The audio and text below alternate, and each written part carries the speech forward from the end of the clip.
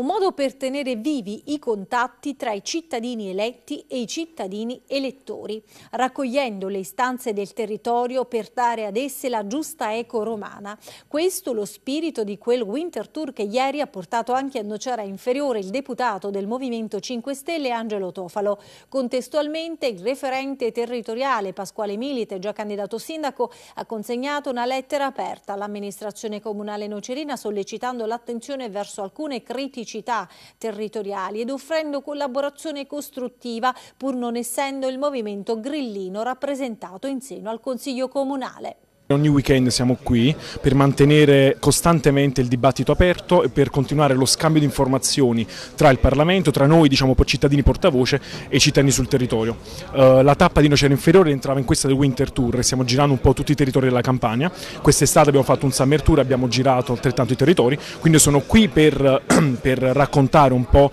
il lavoro parlamentare degli ultimi e poi sono qui soprattutto per prendere le istanze dal territorio, quindi è normale non possiamo conoscere i problemi di tutti i comuni della Campania Campania, quindi veniamo qui, i cittadini in maniera devo dire, molto significativa, molto importante stanno studiando insieme i problemi del territorio, quindi l'obiettivo è produrre poi interrogazioni parlamentari, quindi carte, atti ispettivi nero su bianco da portare in Parlamento. Eh, noi eh, l'anno scorso abbiamo fatto in occasione dell'uscita del sindaco quando eh, si è presentato alla città nel mese di novembre, gli abbiamo consegnato una lettera dove c'erano su un elenco di domande venute fuori da eh, un eh, questionario redatto proprio online con la partecipazione dei cittadini dove abbiamo abbiamo preso le domande più votate da parte di tutti e quelle più proposte praticamente e gliele è stato consegnato. Alcune di quelle domande non hanno avuto ancora oggi assolutamente risposta, alcune iniziative invece sono state prese, vedi quella eh, sulla tutela del territorio con i lotti minimi, apprezziamo lo sforzo anche fatto in eh, tal senso, eh, però c'è ancora molto da fare e noi vogliamo ribadire che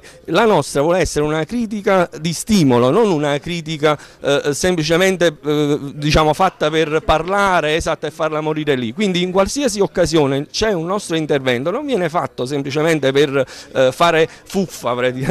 come diciamo noi in gergo, ma eh, per portare poi eh, fuori eh, un'iniziativa che sia poi collaborativa e partecipativa dal punto di vista popolare.